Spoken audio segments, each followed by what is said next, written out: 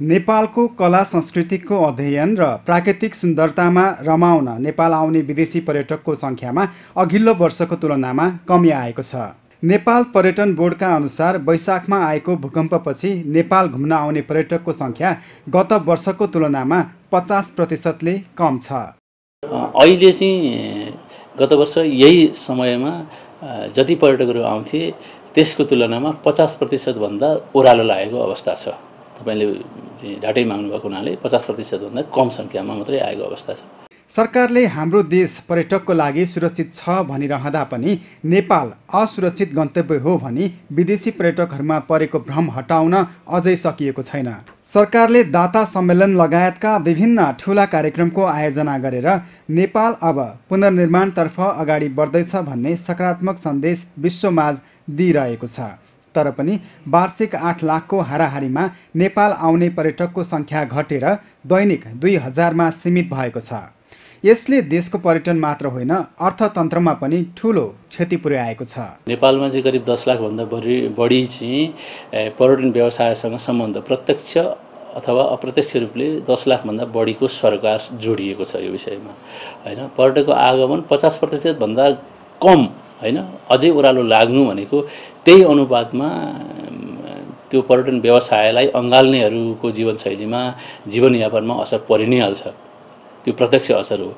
त्यसको सँगसँगै पर्यटन क्षेत्रले नेपालको कुल राष्ट्र उत्पादनमा करिब दुई पर्सेन्टभन्दा माथिको जुन योगदान गर्थ्यो त्यो योगदानमा पनि ठुलो असर गरेको छ। यसले गर्दा अर्थतन्त्रमा नकारात्मक असर परेको कुरा त हामीले सहस्र स्वीकार गर्नैपर्छ नेपाल पर्यटन बोर्डका अनुसार अन्तर्राष्ट्रिय सञ्चार माध्यममा आएका अतिरञ्जित सूचनाका कारण पनि पर्यटकहरू नेपाल आउन डराइरहेका छन्। नेपालका मुख्य पर्यटकीय गन्तव्य खुम्बु तथा अन्नपूर्ण क्षेत्रमा भूकम्पको खासै प्रभाव नपरेकोले पर्यटकको लागि नेपाल सुरक्षित रहेको बोर्डको भनाइ छ। नेपाल आएर भ्रमण गर्ने सबैभन्दा धेरैले भ्रमण गर्ने भनेको खुम्बु क्षेत्र हो। खुम्बु क्षेत्रको पदयात्रा मार्गमा त्यत्रो ठुलो क्षति भएको छैन। सामान्य मर्मतपछि त्यो त सुचारू भइसकेको छ।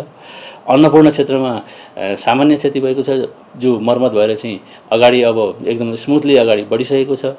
मनासु क्षेत्रमा अरू क्षेत्रमा भन्दा अलिक बढी प्रभाव परेको छ। त्यो क्षेत्र पनि हामीले मर्मतको क्रम पनि अगाडि बढाएका छौँ। त्यो क्षेत्रमा जाने अर्को वैकल्पिक बाटोको पनि व्यवस्था गरेका छौँ। त्यो सन्देश पनि दिइसकेका छौँ है। अब काठमाडौँको सम्पदाहरूको बारेमा भनिहालेँ। पोखरा जुन पर्यटकहरूको लागि प्रमुख चाहिँ आकर्षण केन्द्र थियो त्यो आकर्षण केन्द्रमा कुनै क्षति नै भएको छैन।